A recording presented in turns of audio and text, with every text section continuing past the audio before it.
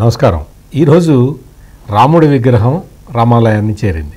అయోధ్యలో నిర్మించిన భవ్య రామాలయంలో విశేష పూజలు జరుగుతున్నాయి నిన్నటి నుంచి నిన్న ప్రాయశ్చిత్త పూజతోటి పూజలు మొదలైన ఇరవై రెండవ తారీఖున రాముడి విగ్రహానికి ప్రాణప్రతిష్ఠ జరుగుతుంది.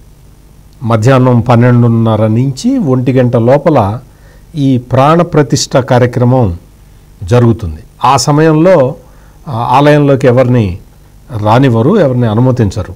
మళ్ళీ పునర్దర్శనం ఇరవై మూడో తారీఖు ఉంటుంది. విగ్రహాలని ఈరోజు తీసుకొచ్చే ముందర సరయూ నదిలో నుంచి తీసుకొచ్చిన జలాలతోటి ఆలయం మొత్తాన్ని శుద్ధి చేశారు. తర్వాత రేపు వాస్తు పూజ వరుణ పూజ గణేష్ పూజ ఉంటుంది. ఆ తర్వాత పంతొమ్మిదవ తారీఖు ధ్యాన్ దివస్గా పెట్టారు. అంటే అక్కడ అగ్నిహోత్రుణ్ణి ఆవాహన చేస్తారు.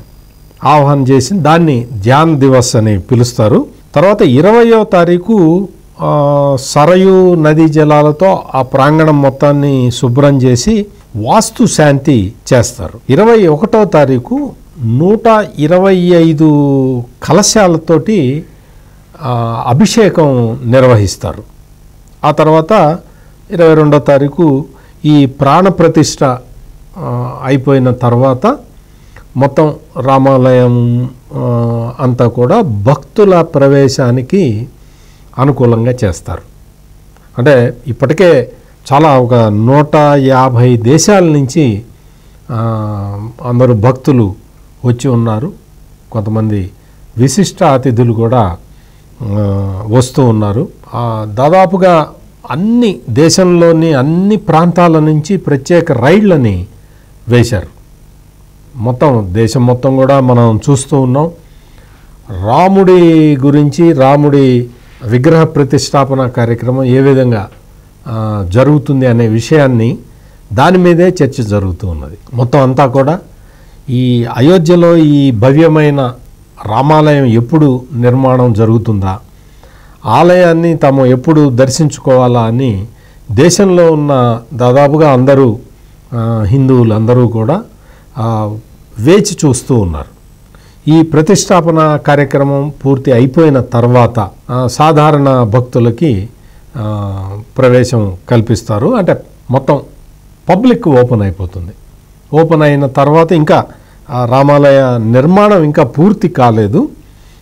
కానీ మొత్తానికైతే ఆలయం ఆలయ నిర్మాణం ఎక్కువ భాగం పూర్తి అయిపోయింది కాబట్టి రాముడి దర్శనం అవుతుంది.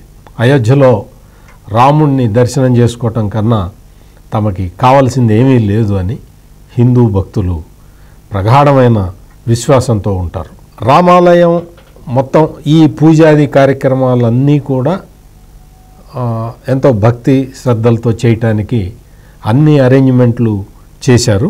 ఆ ప్రకారం ఈ క్రతు అంతా పూర్తి చేయాలని ఇదంతా కూడా నిర్విఘ్నంగా జరగాలని చెప్పి చాలామంది కోరుకుంటున్నారు. ఈ సందర్భంగా దేశంలోని చాలా చోట్ల హనుమాన్ చాలీసా పఠించటం లేదు రామాలయాల్లో ప్రత్యేక పూజలు నిర్వహించటం ఇటువంటి కార్యక్రమాలని అందరూ నిర్వర్తిస్తూ ఉన్నారు. వివిధ రకాల మఠాధిపతులు స్వామీజీలు వీళ్ళందరూ కూడా తమ తమ ప్రాంతాల్లో ఈ భజన కార్యక్రమాలని చేస్తూ ఉన్నారు. మొత్తానికి ఏంటంటే దేశంలో నలుమూలల రామ భక్తి పారవశ్యంలో భక్తులు మునిగి తేలుతూ ఉన్నారు. మరిన్ని విశ్లేషణలతో మళ్ళీ కలుద్దాం.